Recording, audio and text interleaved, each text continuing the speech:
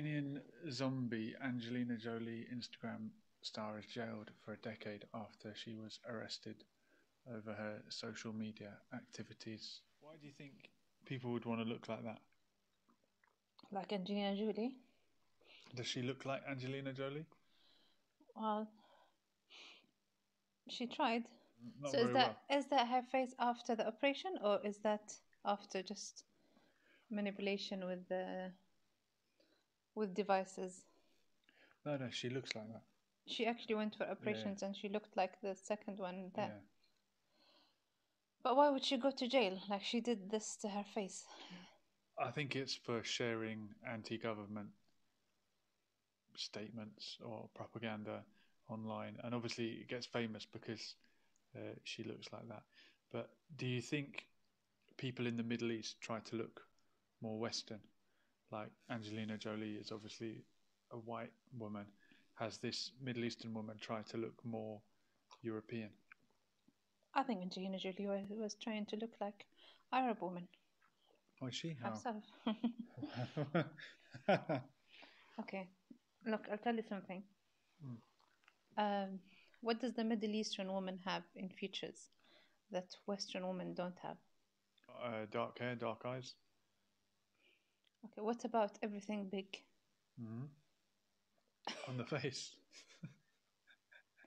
Well, the truth is, nowadays women think you go big with everything, you are, you know, you are attractive.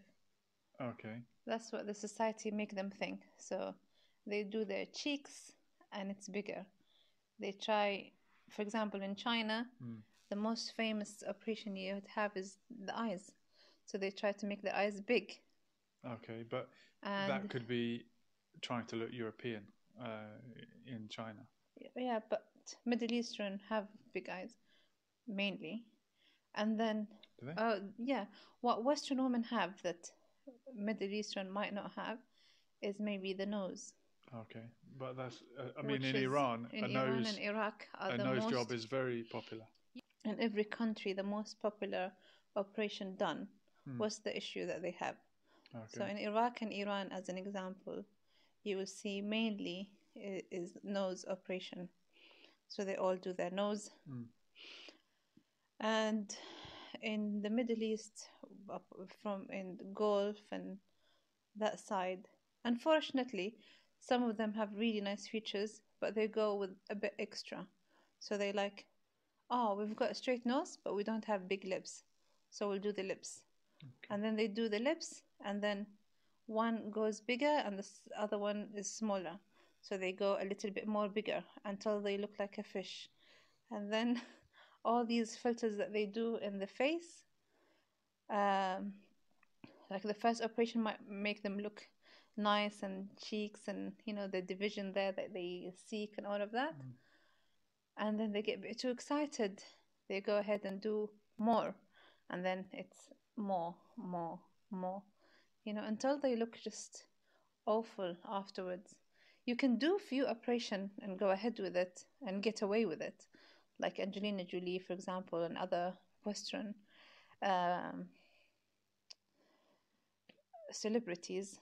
They most of them went under cosmetic surgeries, but they were smart about it. They did only small things, you know, like small enhancement for the lips, small this, small that.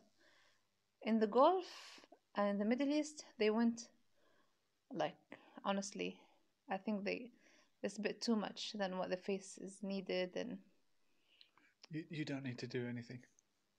Did I say Well- that? Did I say that quickly enough?